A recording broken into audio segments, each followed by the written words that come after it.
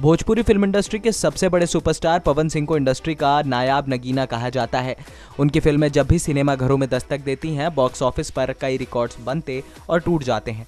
अक्सर पवन सिंह सुर्खियों में बने रहते हैं और इन दिनों पवन सिंह एक बार फिर सुर्खियों में बने हुए हैं और उनकी वजह है उनका इंटरव्यू। खबरों के मुताबिक हाल ही में पवन भैया मीडिया से मुखातिब हो रहे थे और उन्होंने ये एक वाक्य सभी को बताया, जो उनके जहन में हमेशा रहता है। दरअसल एक दफ़ा पवन सिंह एक स्टेज शो कर रहे थे, जहाँ वो अपने सुपरहिट गाने गाकर अपने फैंस और दर्शकों को एंटरटेन कर रहे थे।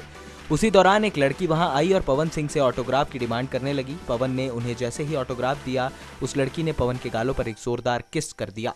इस वाक्य को देखकर वहाँ हर कोई हैरान था। खैर, जो भी हो, पवन सिंह की गायकी और अभिनय का हर कोई कायल है और उनकी फ़ैन फॉलोइंग भी भारी तादाद में है।